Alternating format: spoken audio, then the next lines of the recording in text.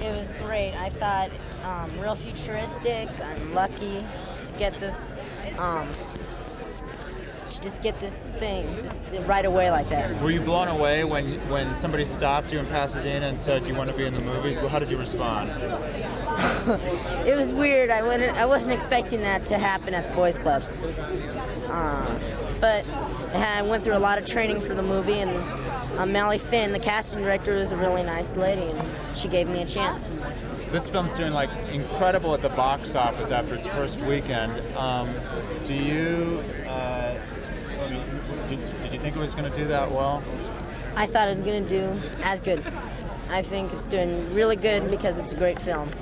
And I expect this to be a great film too. Now you're getting all kinds of attention. How, how does this instant fame? How are you how are you dealing with that? Do you like it? I love it. He loves it. I love it. he it. absorbs the camera. I know. My head. Are you sure my head will be able to fit on the camera? Elizabeth.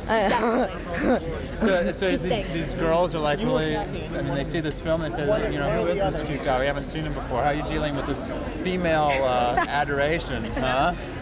I think it's wonderful too. I think she's beautiful. Though. Oh, oh, Yeah, she she deserves What was it. it like working with Arnold Schwarzenegger? I thought it was great. How did he help you?